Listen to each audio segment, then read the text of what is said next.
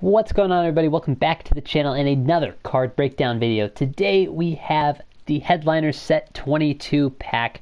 Uh, we're just breaking down the new headliner that came out today and it is of course 96 overall Future Stars Carter Kieboom. So hit like and subscribe if you guys enjoy this kind of video. Just kind of going over the stats, the new card, keep you guys informed on what's happening in the game. Uh, yeah, so a pretty cool card here. Shortstop obviously for Kieboom. Uh, he's going to mash. He's really good, 96 overall. He can play second base and third base as well. Uh, really is going to hit lefties really well, 95, 84 versus righties, but 113, 100 versus lefties. I think he's some pretty good value for a shortstop. I'm not sure what his marketplace, like stub count wise, is going to be.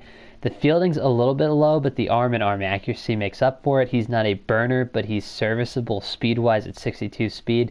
Really, you have him for being a good hitting shortstop. Now, is he better than the Correa and Didi Player of the Month, like Lightning cards?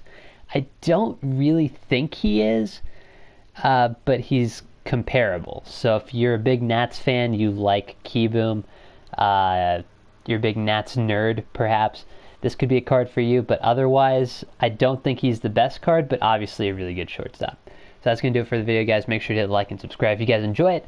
And we'll be back on the grind. And I'll see you guys in the next one.